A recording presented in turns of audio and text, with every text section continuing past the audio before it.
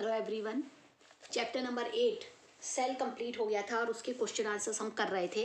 मैंने आपको क्वेश्चंस भी करवा दिए थे। Question number one two three four five five के बाद हमारा सिक्स हो गया था। सिक्स के बाद हमने एक क्वेश्चन छोड़ा था सेवन उसके बाद हमारा एट भी हो गया था, लेकिन हमने नाइन छोड़ा था। ठीक है? और आगे से हमें करना था।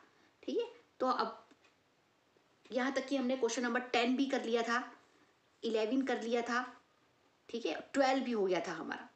तो अभी हमें करना है question number nine. Question number nine जो नहीं हुआ था, वो करेंगे हम multicellular organism have division of labour explain ये क्वेश्चन करना है। देखिए आप question multicellular organism are formed of large number of similar and dissimilar cells but these cells are not exposed to the environment.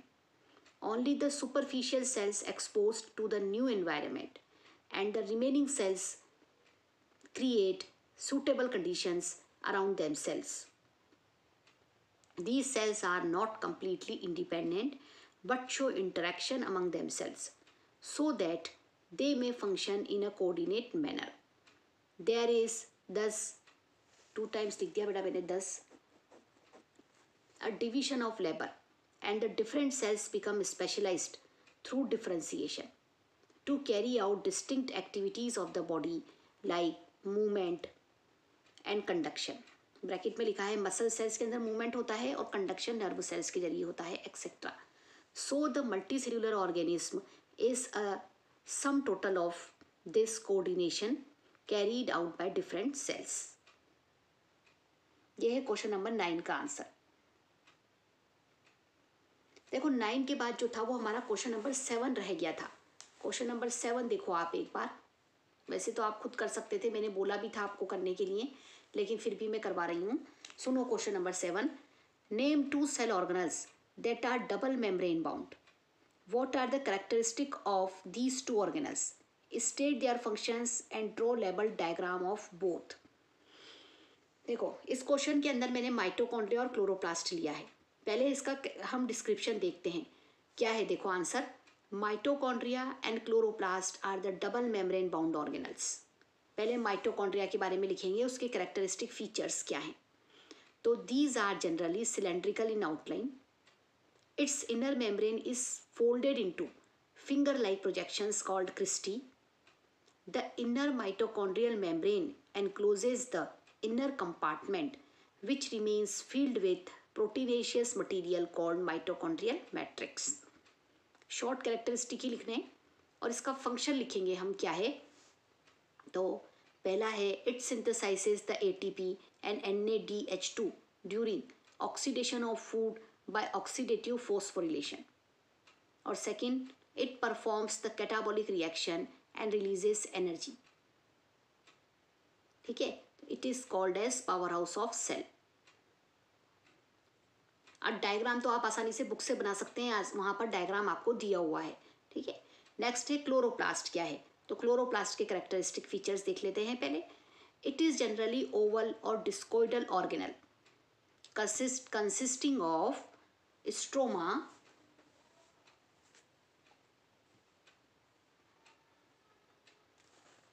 consisting of stroma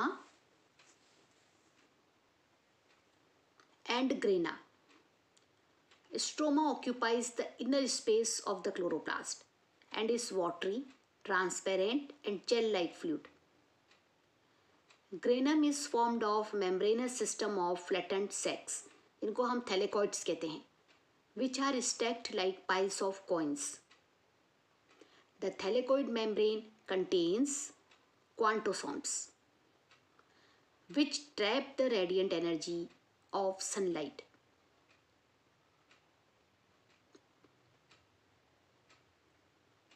अब इसके functions क्या क्या करता है क्लोरोप्लास्ट पहला फ़ंक्शन है, देखो। It help in photosynthesis that is formation of organic compounds second in consumption of carbon dioxide and release of oxygen in photosynthesis third help in storing fat and lipids और fourth may also change into chromoplast in order to provide color. To many flowers and fruits और इनके diagram आपको बनाने हैं question number seven में, वो आप book से बना सकते हैं। ठीक है? उसके बाद आता है, देखो question number thirteen describe the structure of the following with the help of label diagrams nucleus और सेंट्रोसोम ये बुक में दे रखा है। आप आसानी से बुक में से लिख सकते हो। न्यूक्लियस जो है, वो फोर स्ट्रक्चर का बना होता है। न्यूक्लियर एनवलप है न्यूक्लियोप्लाज्म है न्यूक्लियोलस है और क्रोमेटिन मटीरियल है। ऐसे ही सेंट्रोसोम के बारे में भी मैंने आपको बताया है और डायग्राम भी मैंने आपको दोनों का दिखाया है। सेंट्रोसोम का डायग्राम बुक में नहीं था, लेकिन मैंने आपको उसका डायग्राम शो किया है, ठीक है? तो आप वहाँ से आसानी से बना सकते हैं। ये एज अ होमवर्क है आपका क्वेश्चन उसके बाद लास्ट क्वेश्चन रह गया है question number fourteen what is a centromere how does the position of centromere form the basis of classification of chromosomes? Support your answer with a diagram showing the position of centromere on different types of chromosomes ठीक है? Diagram आप book से बनाएँगे। आराम से सारा book में दे रखा है। आंसर आप लिखिए।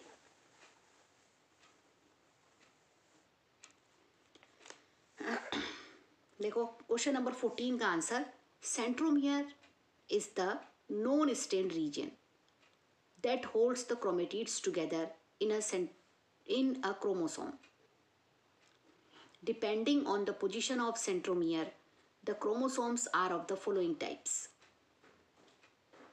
Pehla, telocentric. The centromere is terminal and so the chromosome has only one arm. अब ये लिखकर इसका डायग्राम इसके सामने बना लेना आप फिर acrocentric The centromere is situated closer to one end, making one arm extremely short and the other arm very long. We next third submetacentric. The centromere is little away from the center and so one arm is slightly longer than the other. और last है metacentric the centromere is right in the middle and the two arms of the chromosomes are equal in length. ये हो गया आपका answer number fourteen. ठीक है? तो complete सारे क्वेश्चन आंसर्स हो गए हैं। एक बार मैं आपको और दिखा देती हूँ सारे क्वेश्चन आंसर्स देखो। आंसर क्वेश्चन नंबर था हमारा fifth what is a mesosome in a prokaryotic cell mention the functions that it performs answer number fifth mesosome के बारे में मैंने आपको लिखवाया। नेक्स्ट क्वेश्चन नंबर सिक्स था how do neutral solutes move across the plasma membrane can the polar molecules also move across it in the same way if not then how are these transported across the membrane question number six neutral solutes पे मैंने आपको करवा चुकी हूँ next आया अभी question number seven Name two cell organelles that are double membrane bound. What are the characteristic of these two organelles? State their function and draw label diagrams of both. अभी मैंने आपको करवाया है ये क्वेश्चन नंबर सेवन। ये देखिए आप question number seven. अभी लिखवाया है ये। फिर है question number eight what are the characteristics of prokaryotic cell ये भी हम लिख चुके हैं। Question number eight prokaryotic cell फिर है question number nine multicellular organism have division of labour explain ये रहा नाइन अभी आज सबसे फ़र्स्ट यही करवाया है मैंने आपको।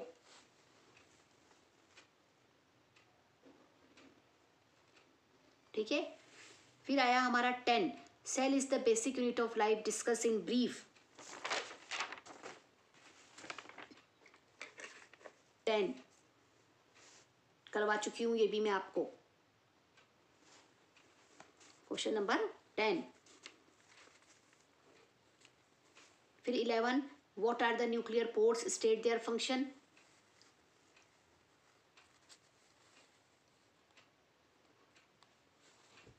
twelve both lysosomes and vacuoles are endomembrane structure, yet they differ in terms of their functions. Comment, ये भी हो गया है।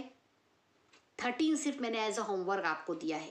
ठीक है न्यूक्लियस और सेंट्रोसोम का स्ट्रक्चर और फोर्टीन अभी what is a centromere does the position of centromere form the basis of classification of chromosome support your answer with a diagram showing the position of centromere on different types of chromosomes ये question जो है, ये भी अभी आपका हो गया है। क्वेश्चन नंबर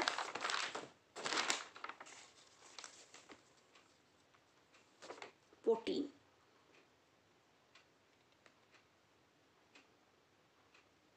ठीक है?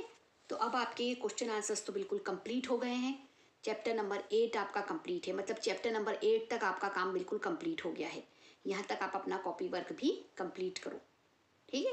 अब देखो चैप्टर नंबर एट जो है, उस चैप्टर नंबर एट के बाद हम पढ़ेंगे सबसे पहले चैप्टर नंबर फिफ्टीन एट के बाद मैंने फिफ्टीन क्यों कहा, उसका देखो कारण है। क्योंकि चैप्टर नंबर फिफ्टीन जो है, वो है आपका plant growth and development plant growth and development देखो, ये चैप्टर नंबर फिफ्टीन ये जो चैप्टर है, इस चैप्टर में से आपका सब कुछ, ये जो तभी है growth phases of growth growth is measurable ठीक है? उसके बाद ये ग्रोथ रेट्स और ग्रोथ रेट्स के बाद आती है conditions for growth differentiation dedifferentiation और री डिफ्रेंसिएशन डेवलपमेंट ये सारे टॉपिक्स जो हैं, हटा दिए हैं। आपका। जितने भी हैं, ये सारे टॉपिक हटा दिए हैं। सिर्फ़ इसके अंदर हमको पढ़ना है, वो है प्लांट ग्रोथ रेगुलेटर्स सिर्फ़ प्लांट ग्रोथ रेगुलेटर्स के बारे में हमने पढ़ना है, जिसको कि आप प्लांट हार्मोन्स के नाम से भी जानते हो। पढ़ा था ना आपने plant hormones auxin gibberellin cytokinins ethylene और एप्सिसिक एसिड ये सिर्फ़ प्लांट ग्रोथ हार्मोन्स इस टॉपिक में से पढ़ना है तो छोटा हो गया आपका ये चैप्टर काफ़ी। Chapter number fifteen plant growth and development इसमें सिर्फ़ आपको प्लांट ग्रोथ रेगुलेटर्स के बारे में पढ़ना है और कुछ भी नहीं पढ़ना है। अब उसमें आपको बताया है कि इनकी क्या करेक्टरिस्टिक फीचर्स होते हैं और क्या फ़ंक्शंस होते हैं। तो हम ये चैप्टर जो है शॉर्ट में चैप्टर है बहुत तो हम ये स्टार्ट करते हैं चैप्टर नंबर फिफ्टीन शुरू करने जा रहे हैं हम अपना chapter number fifteen plant growth regulators क्या होते हैं? देखो, आप सुनो प्लांट ग्रोथ रेगुलेटर्स देखो प्लांट ग्रोथ रेगुलेटर्स जो होते हैं, वो इतने स्मॉल और सिंपल मोलिक्यूल्स हैं, जो बहुत ही माइन्यूट क्वांटिटी के अंदर सीक्रेट किए जाते हैं. लेकिन वेरियस फिजियोलॉजिकल फ़ंक्शंस जो होते हैं प्लांट के अंदर, वो उनको अफेक्ट करते हैं. ठीक है? क्या होते हैं दोबारा सुनो प्लांट ग्रोथ रेगुलेटर्स जो हैं, वो ऐसे सब्सटेंसेज हैं, आप ये मान लो या स्मॉल और सिंपल मोलिक्यूल्स हैं, जो कि बहुत ही माइन्यूट क्वांटिटी के अंदर सीक्रेट किए जाते हैं, लेकिन वेरियस फिजियोलॉजिकल फ़ंक्शंस जो हैं प्लांट के अंदर, उनको क्या करते हैं, ये अफेक्ट करते हैं। इनके जो केमिकल कंपोजिशंस हैं, वो डाइवर्स टाइप के हैं अलग अलग तरह के केमिकल कंपोजिशंस की फॉर्म में ये मिलते हैं। जैसे एग्जांपल मैं आपको बताऊँ, पहले इंडोल कंपाउंड्स जैसे उसका एग्ज़ाम्पल है इंडोल थ्री एसिटिक एसिड ऐसे ही एडिनिन के डेरिवेटिव्स की फॉर्म में भी मिलते हैं ये, जैसे काइनेट काइनेटीन है, ठीक है? डेरिवेटिव्स ऑफ़ कैरेटिनोइड्स की फॉर्म में भी मिलते हैं, जिसका कि एग्ज़ाम्पल एप्सिसिक एसिड है. टर्पेंस की फॉर्म में मिलते हैं, जैसे जिब्रेलिक एसिड से गैसेस की फॉर्म में मिलते हैं, जैसे एथाइलिन है. तो प्लांट ग्रोथ रेगुलेटर्स जो होते हैं, इनको हम फाइटो हार्मोन्स के नाम से भी जानते हैं, या प्लांट ग्रोथ सब्सटेंसेस भी हम इनको कहते हैं, ठीक है? अब ये प्लांट ग्रोथ रेगुलेटर्स जो होते हैं, इनको टू कैटेगरी के अंदर क्लासीफाई किया गया है on the basis of nature of their action कि किस तरह का इनका नेचर है, उसके बेसिस पर इन्हें दो कैटेगरी में बांटा है। एक कहलाते हैं प्लांट ग्रोथ प्रमोटर्स जिसके के अंदर आते हैं ऑक्सिन साइटोकाइनिन और जिब्रेलिन ये क्या करते हैं प्लांट की ग्रोथ को प्रमोट करते हैं। यानी कि ग्रोथ एक्टिविटीज़ जो होती है प्लांट की, जैसे सेल का डिवीज़न है सेल एनलार्जमेंट है फ्लावरिंग है फ्रूटिंग है सीड फॉर्मेशन है ट्रॉपिक ग्रोथ मूवमेंट्स हैं, ये जो होते हैं, ये हार्मोन्स उनको प्रमोट करते हैं। तो इसीलिए इनको क्या कहते हैं प्लांट ग्रोथ प्रमोटर्स कहते हैं ऑक्सिन साइटोकाइनिन और जिब्रेलिन एक होते हैं प्लांट ग्रोथ इनिबिटर्स जिसके अंदर आते हैं एप्सिसिक एसिड ये क्या करते हैं? बहुत इंपॉर्टेंट रोल प्ले करते हैं प्लांट्स के अंदर in response to wounds and stresses of biotic and abiotic origin कि जब प्लांट के अंदर कोई स्ट्रेस की कंडीशन आ जाती है तो ये उसमें अपना रेस्पॉन्स देते हैं। हालाँकि नाम इनको इनिबिटर दिया है, लेकिन ये भी प्लांट के लिए होते तो इम्पोर्टेंट ही हैं, है ना? ये कुछ जो है ग्रोथ इनिबिटिंग एक्टिविटीज़ के अंदर इन्वॉल्व होते हैं प्लांट के अंदर। ऐसे डॉर्मेंसी है एप्सिशन है, लेकिन प्लांट के लिए वो भी ज़रूरी है समय समय पर। तो वो है ग्रोथ इनिबिटर्स अब है अब इन्होंने बताया है आपको वन बाय वन के बारे में। तो पहला बताया है ऑक्सिन्स के बारे में कि क्या होते हैं ऑक्सिन ऑक्सीजन की डिस्कवरी कैसे हुई? पहले ये बात करते हैं हम कि देखो ऑक्सीजन जो था प्लांट ग्रोथ उसकी डिस्कवरी कैसे हुई है। यहाँ पर आपको एक साथ इन्होंने बुक के अंदर पूरा बता दिया। The discovery of plant growth regulator तो वन बाय वन इन्होंने आपको यहाँ पर सबका एक साथ पहले डिस्कवरी बता दी। लेकिन हम वन बाय वन पढ़ेंगे। हर हार्मोन के बारे में हम क्या क्या पढ़ेंगे? देखो, पहले ऑक्सीजन जैसे कोई भी हार्मोन पढ़ा उसकी डिस्कवरी फिर उसका आइसोलेशन फिर उसके फिजियोलॉजिकल इफ़ेक्ट और उसकी एप्लीकेशन एप्लीकेशन मतलब यूजेस आप उसके कह सकते हो। ये चार पॉइंट सब में कॉमन चलेंगे। तो हम पॉइंट टू पॉइंट पढ़ेंगे तो आप कंफ्यूज नहीं होंगे। तो पहला हम पढ़ रहे हैं ऑक्सीजन के बारे में। देखो ऑक्सीजन की डिस्कवरी कैसे हुई कि चार्ल्स डार्विन और उनका जो सन था, फ्रांसिस डार्विन, उन्होंने ये ऑब्ज़र्व किया कि जो कैनरी ग्रासेस होती हैं, उनके जो कोलियोप्टाइज थे, वो यूनिलेटरल इल्यूमिनेशन जो हैं, उनको रेस्पोंड कर रहे थे by growing towards the light source light source की तरफ़ उगकर या यूँ मान लो आप अगर हम सिंपल लैंग्वेज में कहें कि उन्होंने ऐसा महसूस किया कि जो ग्रासेस थी, वो क्या होती थी कि जहाँ पर लाइट सोर्स मिलता था तो फोटोट्रॉपिक कर्वेचर शो करती थी। आफ्टर सीरीज़ ऑफ़ एक्सपेरिमेंट ये कंक्लूड किया गया कि इन कोलियोप्टाइल की टिप पर क्या होते हैं, कुछ सब्सटेंसेस पाए जाते हैं, जो इस कोलियोप्टाइल की बेंडिंग के लिए रेस्पॉन्सिबल होते हैं, यानी कि ये उन सब्सटेंसेस के साइट ऑफ़ प्रोडक्शन है। इसकी वजह से क्या हो रहे थे, ये कोलियोप्टाइल्स बैंड हो रहे थे। तो एफ़ डब्ल्यू वेंट जो थे उन्होंने जो सबसे पहले ओट्स की सीडलिंग थी उनके कोलियोप्टाइल्स की टिप से क्या किया था? ऑक्सीजन को आइसोलेट किया था। हम्म, अब आइसोलेशन के अंदर हम पढ़ेंगे कि जो ग्रीक वर्ड एक होता है ऑक्सीजन ऑक्सीजन ही करते हैं उसको हम pronunciation auxin A U X E I N उसका मतलब होता है टू ग्रो तो वहाँ से ही इनको नाम क्या मिला? ऑक्सीजन नाम मिला। इंडोल थ्री एसिटिक एसिड और इंडोल ब्यूटेरिक एसिड जो हैं, वो प्लांट से आइसोलेट किए गए हैं।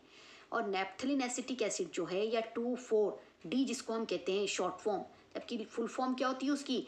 Two four dichlorophenoxy acetic acid ये सिंथेटिक ऑक्सीजन हैं। दो मैंने आपको नेचुरल ऑक्सीजन के नाम बताए और दो मैंने आपको सिंथेटिक ऑक्सीजन के नाम बताए। अब इनका क्या फिजियोलॉजिकल इफ़ेक्ट है प्लांट के ऊपर? देखो कि प्लांट के अंदर क्या करते हैं, ये ऑक्सीजन्स जो होते हैं, वो प्लांट की जो सेल होती है, उनकी ग्रोथ को प्रमोट करते हैं। ये जो प्लांट के अंदर वेस्कुलर कैम्बियम होता है ना, उसके डिवीज़न को कंट्रोल करते हैं, है ना सेल डिवीज़न जो होता है वेस्कुलर कैम्बियम के अंदर, ये उनको कंट्रोल करते हैं और जैलम डिफ्रेंसीशन को कंट्रोल करते हैं। इसके अलावा ये एपिकल डोमिनेंस जो होती है प्लांट की, उसके लिए रेस्पॉन्सिबल होते हैं। इस और के ये जो एप्सिशन लेयर होती है, उसकी फॉर्मेशन को प्रिवेंट करते हैं। इसके अलावा जो प्री मेच्योर फॉल होते हैं लीव्स के फ्लावर्स के या फ्रूट्स के, उसको भी प्रिवेंट करते हैं। यानी कि पूरी तरह से फल फूल नहीं बनते, उसके पहले ही वो गिर जाते हैं ना तो उनको भी प्रमोट करने का काम करते हैं। तो ये किसके फ़ंक्शंस होते हैं? ऑक्सीजन के फ़ंक्शन है। ऑक्सीजन अब इनका यूज़ क्या है? वही यूज़ है जो इनका फिजियोलॉजिकल इफ़ेक्ट है। वो इफ़ेक्ट अगर आपको प्लांट में नहीं दिखेंगे तो आप इनको यूज़ करेंगे ही सही। तो ऑक्सीजन को क्या करते हैं हम? जैसे स्टेम कटिंग्स के अंदर रूटिंग के लिए क्या किया जाता है, इनको यूज़ किया जाता है। जैसे स्टेम कटिंग ले ली, उसको इंडोल ब्यूटेरिक एसिड या इंडोल एसिटिक एसिड में अगर हम डिप करके लगाते हैं तो उनके अंदर रूट्स जल्दी इमर्ज हो जाती है। तो ये मतलब auxins are use to initiate rooting in stem cuttings के अंदर भी यूज़ किए जाते हैं।